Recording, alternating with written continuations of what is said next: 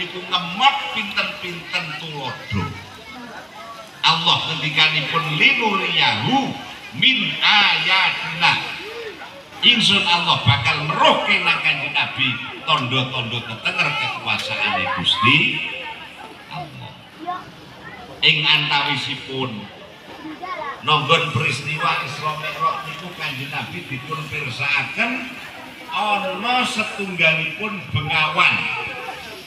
Nek cara saiki ya bumbang nek gedhe.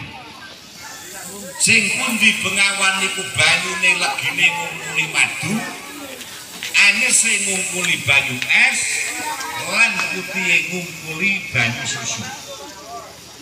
Kanjeng Nabi matur dhateng malaikat Jibril, malaikat Jibril bengawan ingkang kados mekaten saenipun menika bagianipun sinten malaikat Jibril jawabanipun niki bagianipun umat panjenengan kanjeng Nabi sing biyen nalika urip ning alam donya nek ning wulan Rajab do gelem mau selawat dhateng panjenengan.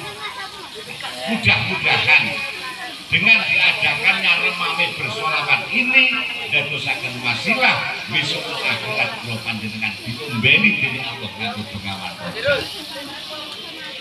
Kapan wong niku kok diombeni nganggo bengawan rojab layak mau ba'dahu abadan.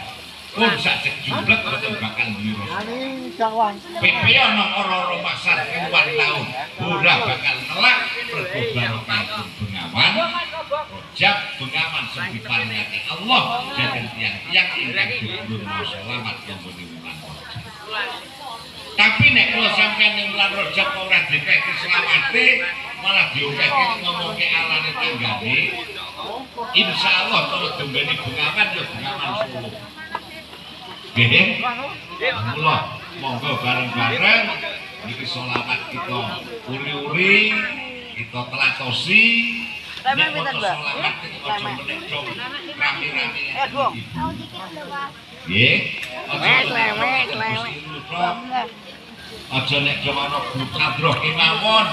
Tapi kula lan panjenengan sedaya dijadikanlah selawat ini sebagai wiridan kagem kula lan panjenengan. Uang ning dunya anggen akeh selawat dhateng Kanjeng Nabi. Siji kula panjenengan atine arep diparingi tentrem ayem. Rezekine arep diparingi lancar. Besok nek mati bakal nampa syafaate Kanjeng Nabi. Mergo barokah mangsa Estu niku selawat aja menek dong. Ana wong akeh ngeten iki lak maos. Ning ning dalem paling mboten kula sampeyan diagendakan. Kasih dulu Pak Aswi. Maca selawat ping 1000 niku nek sing diwaca selawat Jibril. Sallallahu ala Muhammad sallallahu ala Muhammad mboten nganti setengah jam rampung. Nek karo sampeyan nek gledek tanggane muni gledek. Leres sama bener.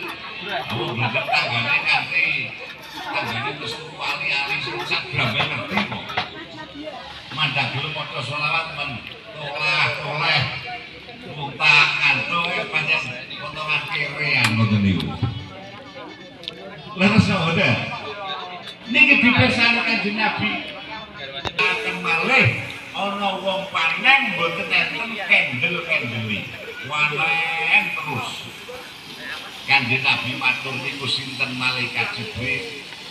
Niku contonipun umat panjenengan. Ingkang kados napa sing biyen nalika urip ning alam donya jo berjuang murid-murid agamane Gusti.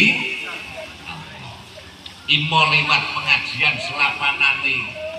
Imo lewat majlis-majlis taklime Imo lewat musola masjide Imo lewat mujahadah lan sholawate Niki sedaya nek diniati jihad dan fisabilillah Kula sampeyan sono akhirat panenan boten bakal Amin Allahumma Amin Allahumma. Niki tenang Jihad itu penting. Hari ini kalau panjenengan jihad itu pun betul ngangkat pedang orang gua bedil kok zaman penjajah. Tapi kalau sampean gelem ngopeni masjid, gelem ngopeni musola, majelis-majelis taklim, majelis-majelis dikir, majelis sholawat, bahkan pondok-pondok pesantren. niku minangka sarana awake dhewe murid-murid agamane Gusti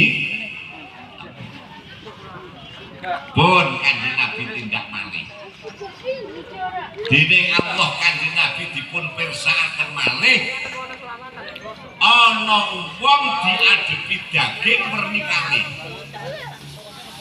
sing setunggal daging enak sing nomor kali daging bosok